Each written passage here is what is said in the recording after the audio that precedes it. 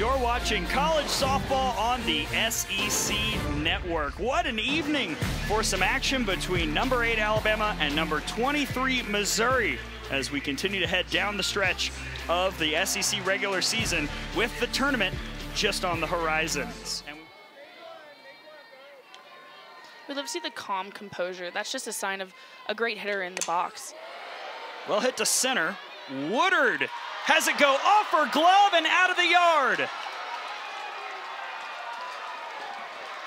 Add another to the home run total for Kimberly Wert. Missouri leads it 2 0. Leading this team from the start to today. Right to third, and Daly snags it for out number two.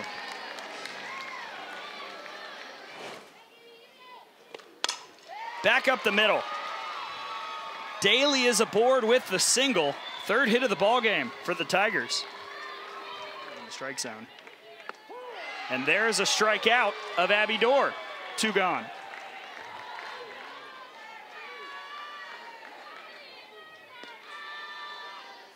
Swing and a miss.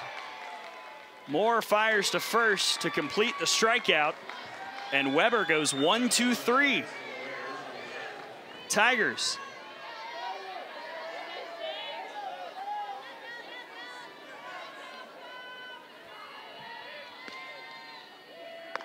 Swing and a miss. Weber feeling it now. That's strikeout number four. The only team not playing an SEC series is Florida. Honold out to left. Leadoff single for the Tigers as they try and answer here in the fifth. Shows you the home crowd really Bloodworth stops it, can't make a throw, but Wilmes is aboard.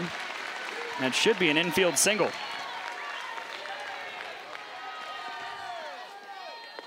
There it is again. Weber gets another K looking for out number one. Good night, lofts that one, caught by Laird. Jenna Laird makes the snag, and we're going to extras. That's low, that's ball four. RBI walk from Kendall Bailey, and Missouri's got the lead.